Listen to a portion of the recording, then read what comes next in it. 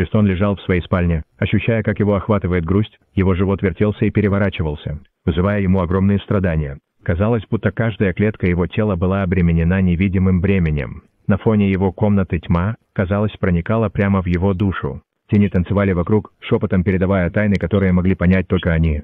Но было еще что-то, что делало ситуацию Престона еще более невыносимой. Он потерял один из своих глаз в трагической аварии. Было 20 июля, когда Престон нашел утешение, смотря кикорики на своем ноутбуке. Яркие персонажи принесли временное облегчение от его горя. Однако, как только он начал погружаться в их мир, Джампи вдруг крикнул «Барри!».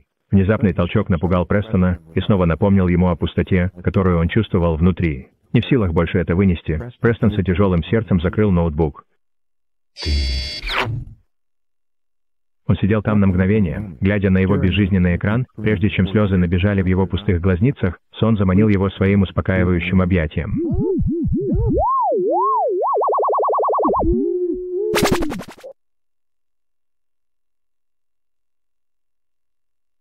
В арктической стране грез перед Престоном появился полярный медведь. Он подошел к нему с нежным любопытством и нежно протерся о него. На короткое мгновение теплота заменила холод в сердце Пристона, но затем все изменилось. Полярный медведь превратился в жестокого зверя и безжалостно напал на Престона. Его когти прорезали плоть, а челюсти разрывали то, что осталось от его хрупкого существования. В этот ужасающий момент вся надежда исчезла, а тьма полностью поглотила его.